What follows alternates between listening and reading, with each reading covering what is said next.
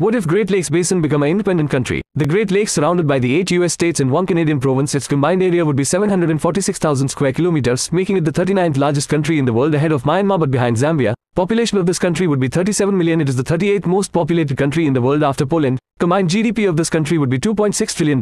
It's making 8th largest economy in the world ahead of Brazil but behind France. Also this country become a largest economic landlocked country in entire world. While GDP per capita would be $71,421, it's five times higher than global average and it's making 10th richest country in the world after Qatar. Also, this country become a second richest country in whole Americas just behind United States. Toronto is the largest city in this country with 2.8 million people and followed by Chicago with 2.7 million people, Mississauga with 721,000 people, and Milwaukee with 592,000 people, and the capital of this country would be Toronto, and the country official language would be English, and also most spoken language with over 34 million speakers, and this country will hold 3% of North America land area, 6.25% of North America population, and 8.9% of North America GDP.